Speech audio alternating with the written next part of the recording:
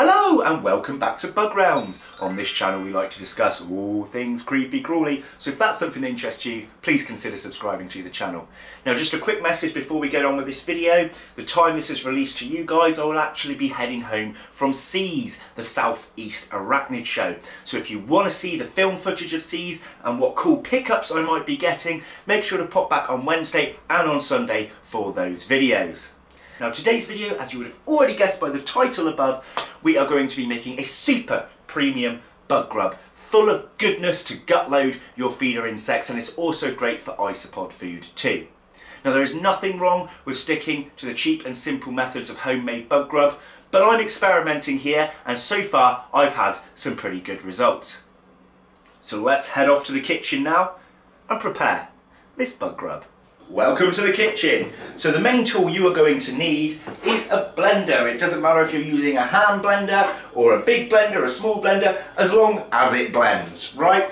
Now, normally for a base of things like bug grub, people will use dog biscuits, they will use um, various cereals. Now I am sticking to the cereal side, but we're going to be going for a brand-based product. So I've just got some cheap bran flakes. You can use all bran, you can use more expensive ones if you wish, but there's no harm in using cheap and nasty bran. So this is high in iron, it's high in fibre. So first of all, we're going to blend up the base and then you can see what's added next. So don't have to measure it, tip it in willy-nilly.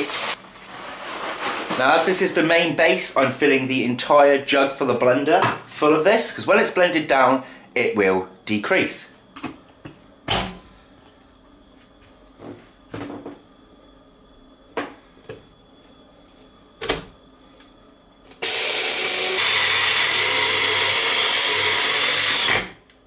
There, as you see, it's condensed right down. So let's go on to our next ingredient. So next we're going to be adding in this stuff. Now this, if you didn't know, is a sort of maize corn flour type thing. And the reason we're going to be using this is because I've noticed that in a lot of commercially bought isopod premium foods, they use this as one of the bases. Now I'm not sure fully on the reason why, but perhaps it's because it's full of vitamin B12 among many other things.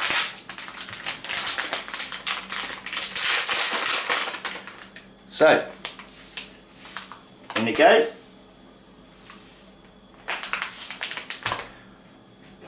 So what I've placed in here is just a layer to go along the top.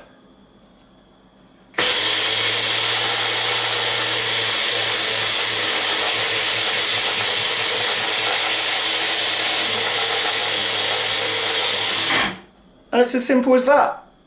Now the next ingredient is something that I experimented with in a previous bug grub and it seemed to work. Black eye beans or black eye peas as some people call them. Now I own these for bean weevils, so if you have a bean weevil culture, you'll know all about these. Now these are actually really super nutrient rich, so there's no harm in adding these to the grub and I did it as an experiment as I said before and it seemed to work quite well.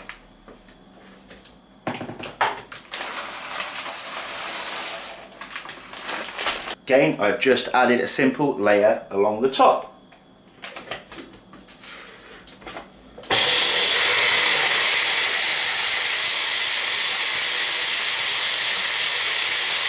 Now you don't have to worry about things being a fine powder, it's just to kind of break them up a bit so that they're easier to consume. Now we're going for the final ingredients of this bug grub and this is something that I've been doing quite a bit of research into to looking at the properties of these things and it's going to be a whole mix.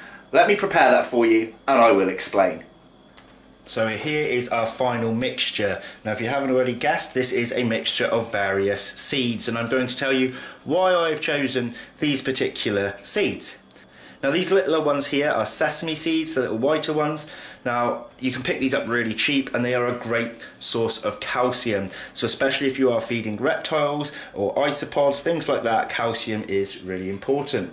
Now these bigger greener ones are your pumpkin seeds, packed with B vitamins, iron and zinc and the zinc actually helps process carbs, fats and proteins so that's going to be really really handy to break things down Now, I can't really see them because I only put a very small amount in, but somewhere near the bottom there are a few dill seeds. Now this is more of a, a, spice which is why I've used a very very small amount and the reason I've done that is because dill again is really really easy and cheap to pick up and it's a great infection fighter. So if your feeders are eating the, the bits of dill and that goes into your reptiles or your inverts it will especially help prevent any kind of infection, bacteria growth, and things like that. So it's always going to be really handy.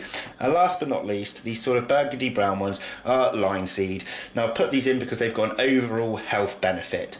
Now, especially in humans, they can help with like cholesterol, omega 3 fatty acids, uh, blood pressure, and so on. Now, I know those kind of things work differently within some of our animals, but they do have a general health benefit. And I think that by adding that in there, it's going to cause no harm. If anything, it may aid in your reptiles or inverts that consume them. And any of these nutrients that are not properly absorbed by the animals will just come out in their poo or their frass anyway. So you really can't go wrong by adding them in. So I'm actually just going to do a very short blend of these. I'm not going to blend them right in.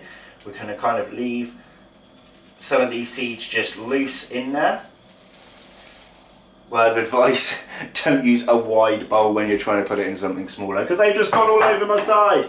Three, two, one.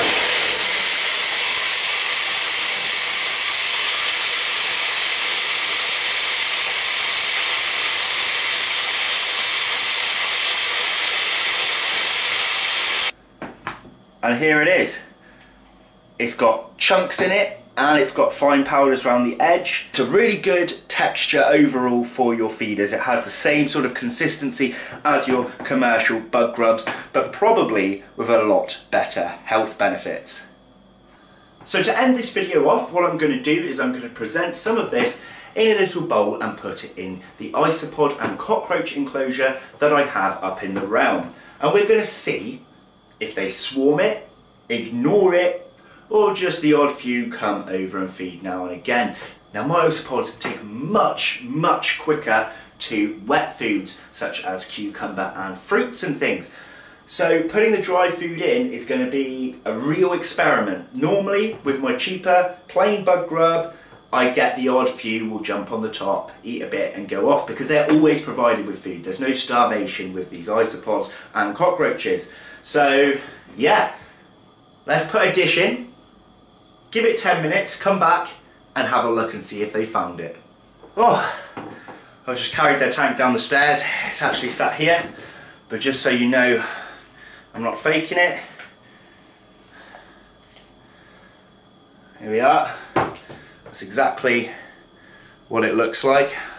Let's pop it in and see what happens, shall we?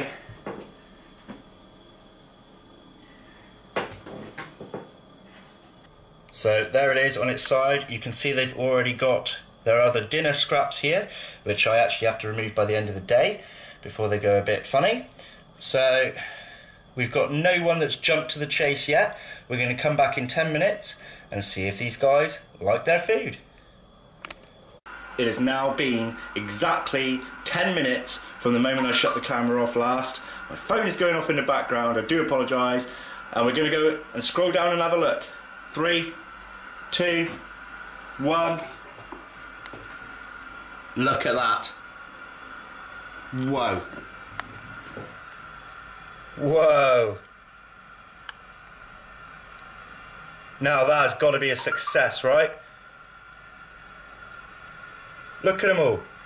So we've had none of the roaches appear yet, but a lot of them stay in hiding until it's much later in the day anyway. But the isopods, they have taken to that well. So guys, is actually the first time I've tried this exact recipe in with my isopods. It's been mostly research based. Um, I have attempted it with my red runner roaches and they took quite well to it too.